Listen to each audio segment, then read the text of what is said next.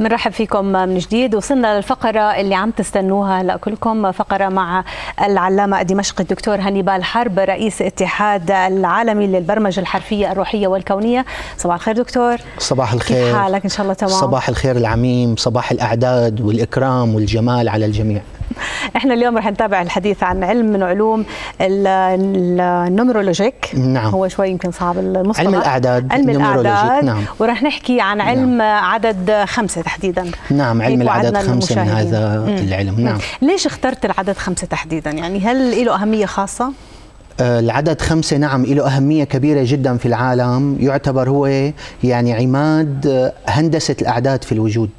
لأنه التخميس في هذا العالم هو الثبات الشخصي ويعتبر الفردانية الخاصة لكل كائن. يعني مثلا بالنسبة لأهميته لاحظوا الدول العظمى الإدارات الكونية الكبيرة في كوكبنا الأرضي آه، تحرص على هذا النوع من الأسرار وخصوصا أسرار العدد خمسة. إلى الآن لم يسمح أن تخرج إلى العالم الحديث آه، أكثر من عدة يعني أسرار 20 25 سر في العدد خمسة بالذات. يعني مثلا آه، من طاقات العدد خمسة وأهميته في عنده طاقة حماية. كونية كبرى. مم. البنتاغون الأمريكي بتلاقيه آه، مخمس. هن بنوه مخمس ليعطي هذه حماية. الوزارة هذه القوة والدفاعية الكبيرة. مثلا الختم الرسمي في إيطاليا عبارة عن نجمة خماسية. اليوم أنتم إذا بدكم تمدحوني كثير تقولوا والله هذا هنيبال نجم كبير ونجم كبير بتوصفوني على أني نجم. نجم العلم نجم الفن نجم الغناء نجم الطرب نجم الرقص مم. النجمة فلانة والنجمة من خمس النجمة مخمسة اللي إحنا عنا. آه. آه علم مثلا تركيا مخمس علم المغرب مخمس. الولايات المتحدة الأمريكية كل ولاية بيرمزوا لها بهذا التخميس بنجمة خماسية. مم. لذلك مثلا آه، حتى علم الولايات المتحدة كله نجوم بتلاقيه. لأن النجمة طبعا نجوم خماسية بالتحديد. لأن التخميس أساس وفردانية كل آه هذا العالم الهندسي. إحنا رح نعرف أكثر عن الأسرار العدد خمسة. نعم. لكن معنا اتصال من قطر. خلود صباح الخير. صباح الخير خلود. يا هلا أهلا وسهلا. تفضلي عندك استفسار من الدكتور أنت وضيوفك؟ شكرا. شكرا. ده في لي طلب خاص قبل ما أحكي مع الدكتور يا ريت فقره الدكتور هانيبال طولوا لنا إياها أكثر من هيك لأنه بصراحة كان صرنا يوم الثلاثاء كأنه عيد. أوه. طولوا لنا الفكرة أكثر من هيك لأنه بصراحة علوم جديدة آه. وعلوم كثير مفيدة جدا يعني ونشكر كثير إحنا عشان نخليها مشوقة أكثر يا خلود أنت عارفة فقرات برنامجنا محددة يعني مدتها جدا محددة. يمكن أعطيناه أكثر وقت هو 20 دقيقة مع الدكتور هانيبال.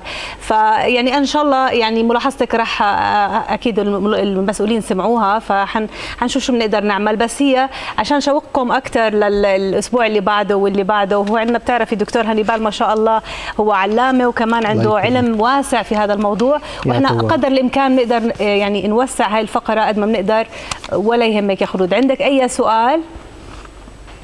آه بدي أحكي مع الدكتور. مرحبا دكتور هانيبال. أهلا وسهلا. أهلا بسموك. تفضلي. أول شيء بنشكرك كثير على العلم العلوم الجديدة اللي عم تعطينا إياها هاي وإحنا طمعانين في كرمك أكثر من هيك دكتور. بالغ الله في اكرامك بالنسبة للعدد خمس بالنسبة للعدد خمس اللي حكيت عنه يعني هو نفسه هلا مثلا هذا العدد يعني ممكن يتفق مع أعداد ثانية أو مثلا يكون في انسجام أو اتفاق أو وعدد مثلا بيتفق معه عدد لا. وفي حال إذا ما بيتم الاتفاق هذا العدد خمسه مع أعداد أخرى. ممكن مثلا انه الإنسان يزيد من عدد احرف وحتى يتفق مع الشخص إذا ما كان في اتفاق أو انسجام. نعم نعم. بلغ الله في إكرامك سمو سموك وشكرا لاتصالك سيدتي. أه رح جاوبك وبقول لك بشكل مختصر مفيد. ما في رقم ما له علاقة مع بقية الأرقام. ما في عدد إلا وله هندسة خاصة يتدخل في الوجود.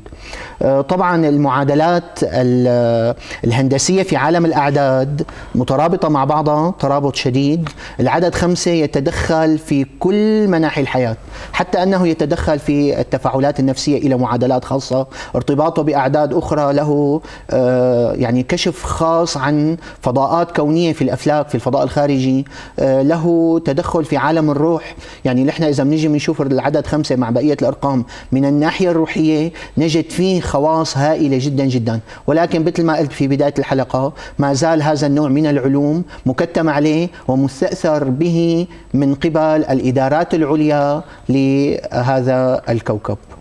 دكتور شو يعني إذا كان شخص بيحب الرقم خمسة أو العدد خمسة؟ نعم. أو العكس إذا كان شخص بيكره العدد خمسة؟ هدول سؤالين.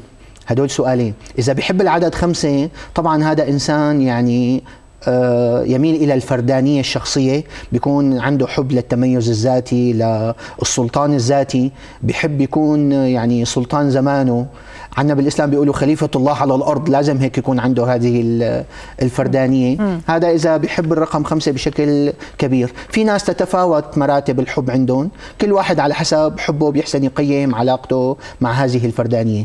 آه، اللي بيحبوا العدد خمسة بشكل كبير بيكونوا ناس آه، عندهم آه، لم الشمل بيحبوا الأسرة بشكل جيد بيحبوا يكونوا هن محور حياتهم ومحور أسرتهم. طبعا بشكل مقابل بشكل مقابل بالسؤال الثاني يلي هو إنه إذا ما بيحب العدد خمسة يعني مو شرط إنه يحبه بالغصب. أما إذا بيكرهه فهون في عندنا مشكلة مع آه، أنائية الشخص. لا أقول أنانية أنائية. يعني فرق؟ مع فردانيته الذاتية الذاتية مع حبه لذاته مع آه، كينونته بيكون في عنده مشكلة لهذه المسألة. أما إذا ما بيكرهه بس إنه ما بيحبه بس بيحب رقم آخر أو عدد آخر م. فهذا أمر طبيعي. يعني ما في آه، شيء يدعو إلى القلق اتجاهه. أما إذا في كره للعدد خمسة بالذات فهو في هندسته البيولوجية هندسته السيكولوجية هندسته الروحية بتكون عنده آه، مشكلة في عالم الفردانية والأنائية الذاتية. آه في آه، جانا استفسار من الشيخ عبد الهادي دنون عبر الفيسبوك عم بيسأل الدكتور بقول لك العدد خمسة وارتباطه بأعضاء الجسم الإنسان وعلى الخصوص أن العدد أصابع اليدين والأقدام كل منها على انفراد خمسة. نعم. مثل ما سبقنا العدد خمسة له أهمية كبيرة يدخل في كل مجالات الحياة بما فيها مجالات أه، اللاهوت الروحي في جسم الإنسان. يعني التخميس في مقاصد الشريعة مثلا في الإسلام أه، مبنية على التخميس خمس أشياء. أه، أصابع اليد خمسة لأنه اليد هي عبارة عن فلك القدرة ومنطقة القدرة في الإنسان.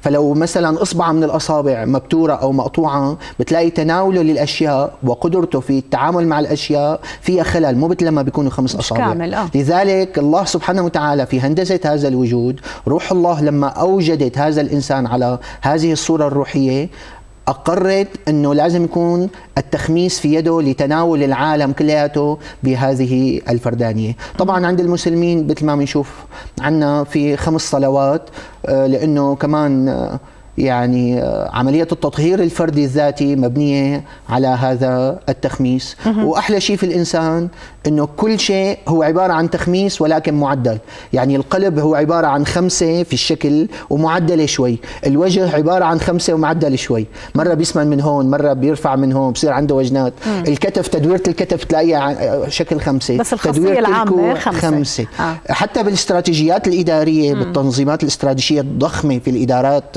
الروحية والاجتماعية والسياسية والاقتصادية في شيء اسمه الخطة الخمسية مم. يعني ليس عبثا اختيارا شوي لهذا المصطلح مو هذا المصطلح الخمسية. هذا العلم مم. القدروي الهندسي الوجودي الفعال مم. علم هائل. مم. أي نعم. طيب في كمان استفسار من الأستاذة هناء شحادة. بتقول لك آه، لكل آية بالقرآن لها عدد خاص زي ما ذكرت قبل شوي. أريد أن أسأل إنه معظم السور تحوي آياتها عدد خمسة وسور لو جمعنا رقمها أعطيت رقم خمسة مثل سورة المؤمنين. وهل العدد خمسة المشترك له روحانية مشتركة أو معنى مشترك أم لكل خمسة هنا لها روحانية خاصة بها؟ هدول تقريبا شيء 10 أسئلة ولا 15 سؤال. وبجاوب قدر الإمكان بشكل بخط عام بحل لك كل هذه الأسئلة. الخمسة في القرآن الكريم والخمسة في الإنجيل انتبوها هو عبارة عن عدد عدد الحفظ الكوني. عدد الحفظ الكوني. يعني سيدنا عيسى عليه السلام ما خط إنجيله وإنما ترك الحواريين يخطوا لأنه واثق تماما أنه رسالته كونية وستصل بالحفظ الإلهي. في القرآن بيقول إنا نحن نزلنا ذكر وإنا له لحافظون. كيف حفظ هذا القرآن طبعا بقدرة الله طيب كونيا هذه القدرة لها حسابات هندسية هذا العدد خمسة هو عبارة عن سر هذه الحسابات الهندسية لذلك بتلاقوا هذا الخمسة الذي في عالم الشكل هو الهاء موجود في لفظ الجلالة الله. هذا التخميس. في لفظة روح الله موجود في هذه الخمسة موجودة في الواو يلي هي باطن كلمة روح راء واو حاء بتلاقوا الواو عبارة عن خمسة والشكل الدائري اللي هو الهاء. لأن هذا الهاء في حفظ الأكوان حتى نحن في معادلات الحروف وفي معادلات الأسماء الحسنى نستخدم كثير العدد خمسة والهاء كونه نفس الشكل في آه، تطوير طاقة الحفظ الإنساني. مو الذاكرة الذاكرة إلى غير معادلات إن شاء الله. بقادمات الأيام نحكي عن الحروف وهذه المعادلات. آه، أقصد الحفظ الذاتي يعني إنه الانسان يكون محفوظ. مثلا بتلاقوا بالتراث الشعبي بكل دول العالم وباخذ منها مصر. بتلاقوا إذا وحدة حست بخوف 80 مليون بلا خمسة وخميسه عذرا للحركة يعني هيك بالهذا. فورا بتفرش أصابع القدرة يعني وتتوجه يعني مش هيك؟ خمسة وخميسه إنه الأبدع من هيك مثلا بتلاقيها المرأة ببساطتها الشعبية وهذا من موروث الثقافة عند أولياء مصر والشام إنه بترفع إيدها بتضب الخمسة هيك إيديها الأصابع الخمسة بتنضب هيك في نقطة واحدة وبتندار فوق رأسها وبتدورها خمس مرات. والأجمل من هيك بتزيد فوق الخمسة تبع الإيد. والخمسة تبع الأصابع. وخمسة التدويرة فوق الرأس. بتزيد الخمسة تبع الشفايف. وبتعملها هيك دفعة طاقية. فأنا هلأ هيك حفظت حالي من العين. طبعا هي هي الآلية آه، تفعل طاقه ما درسناها نحن في مختبراتنا في هيئة الاف جي آه، لقينا إنه فيها طاقه ما تتحرر. لما تابعنا هذه الطاقة الحفظية شلون تتحرر وشو أفعالها؟ وجدناها خارجة من هذا الشكل الخماسي أو من هذا التخميس من الهاء من العدد خمسة. نعم.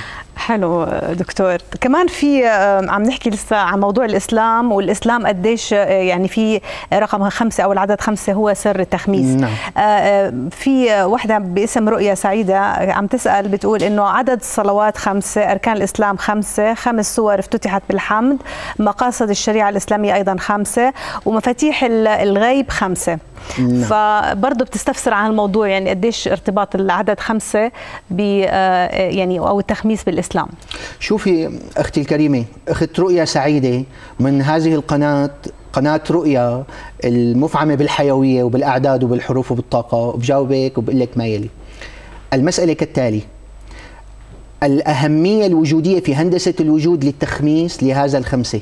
لاحظي مثلا كل الكواكب في مجموعتنا الشمسية عبارة عن كروية والكرة عبارة عن مجسم الخمسة. لذلك حتى الكرة الأرضية خمسة. فلا تستغربي أنه تكون كل الدوافع الاجتماعية كل البناء للقيم الإنسانية في داخلنا مبني على الخمسة مثل مقاصد الشريعة مثل الآيات. مثلا سور الحمد خمسة للسبب التالي. آه، عفوا مو كل سور الحمد الآيات أو السور التي افتتحت بآيات تبدأ بالحمد لله. هدول خمسة ليش؟ لأنه الخمسة هي الكيان الفردي الأول فالفاتحة فاتحة الكتاب هي سورة الحمد اسمها لما بدها تترجم في الكتاب لأنه الفاتحة هي أم الكتاب أم الكتاب. فالكتاب هو ابن هذه الأم. لما بدها تترجم في القرآن هذه الفاتحة كونها هي الفردانية العظمى كونها هي القدرة المثلى الحفظ الأشمل للإنسان فلا بد أن تظهر بهذا التخميس. لذلك ظهرت الحمدلة في بداية سور في خمس مواضع في القرآن الكريم. بكل بساطة الخمسة هو هندسة الحفظ الكوني في هذا الوجود هو عالم الفردانية العظمى. الدكتور نضال ترمانيتي وطبعا أنا كنت حابة أسأل هذا السؤال لأنه هو بالفعل يعني لازم نكشف عن هذا الموضوع سر من أسرار العدد خمسة نعم. علاقته بالأسماء الربانية يعني نقول مثلا الأسماء الربانية أكيد وجلالة وجلالته أكيد بتحس إنه في لهم علاقة بهالشيء نعم. هذا نعم. قديش العلاقه هلا أعظم كلمة في الوجود ليس لها إلا دلالة واحدة هي كلمة الله ألف لام لام مشددة هاء يعني في عندي اللام الأولى لام ملك لام ملكوت لام جبروت قبل ألف الذات وتنتهي بهذا التخميس بحرف الهاء اللي هو في عالم الشكل خمسة. هلأ إذا أمنا الألف تصفى لله إذا أمنا لام الملك بتصفى له له ما في السماوات وما في الأرض. إذا فكينا التجديد إذا امنا اللامات كلياتها بتصفى الهاء يلي هي الهو الهويه الهاء المضمومة أو المكسورة الهو والها. فهي تبقى على دلالة على هذا الإله الواحد الأحد آه الذي هو يحفظ الوجود ولا يؤوده حفظهما وهو العلي العظيم. يعني الحرف المشدد دكتور يعني يعتبر حرف كمان؟ لا الحرف المشدد مو حرف. آه. الحرف المشدد هو عبارة عن حرف ولكن نحن مأكدين عليه. آه بس ما هو مو تكرار. من ضمن الأعداد. لا ليس من الاعداد آه. يعني ما بنحسن نقول إنه الحرف المشدد أو مثلا ميم إذا شددناها صارت ميمتين لا م. هي ميم ولكن مؤكد عليها في علم الروح في علم الروحانيات القدروية لحروف القرآن ونورانيتها الحرف المشدد لما بنشدد حرف هو عبارة عن اعتصار لهذا الحرف حتى يخرج مكنونه م. فلام الملك ولام الملكوت في لفظ الجلاله الله في عليها شدة في عليها ألف صغيرة مشان يوضح لنا الله سبحانه وتعالى أن هذه العوالم هي على التطابق وهي على الانفراد إنما بحاكمية هذا الإله الواحد الذي يحفظ الوجود. في آية الكرسي مثلا بلش الله وببلش يشرح. لا إله إلا هو الحي القيوم و إلى آخره بيجي لشرح لها بيقول ولا يؤوده حفظهما وهو العلي العظيم. فالحفظ هو عبارة عن آه، طاقة منبعثة وصادره عن الهاء الإلهية في هذا الوجود الكوني.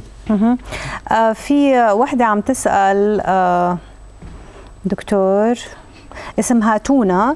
عم بتقول لك يعني ابنها عمره هو عمره خمس سنين. نعم. أو من وليد خمسة خمسة. وحابة تعرف تأثير رقم خمسة عليه أو العدد خمسة عليه هلا في يعني حلو هذا السؤال جميل. في علم من العلوم يهتم بعلم أعداد المواليد. ولكن هذا العلم يدخل في علم الأبراج والتحركات الفلكية وخصوصية روح الأشهر في السنة الشمسية. هذا علم مستقل.